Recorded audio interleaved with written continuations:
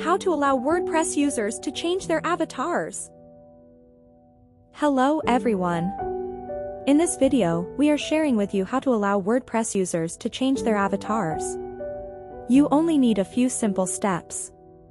There's a way to override the default WordPress profile picture functionality, so users can upload and change their profile picture.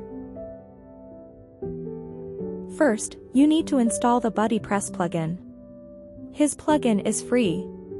You can find the plugin by the searching bar, then install and activate it.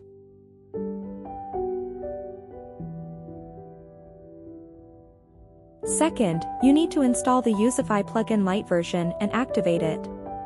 This plugin is also free and you can get it from the WordPress plugin directory.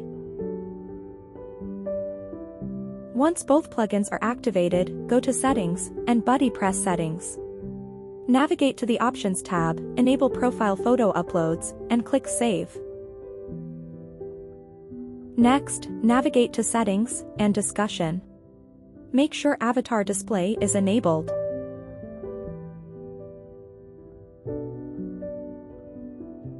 I will log in with a non-admin account and then go to Profile Settings. Here it is, you can see users can upload the profile account.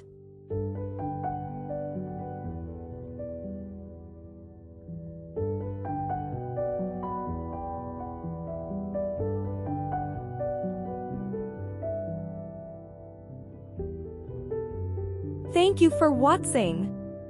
And see you in the next video.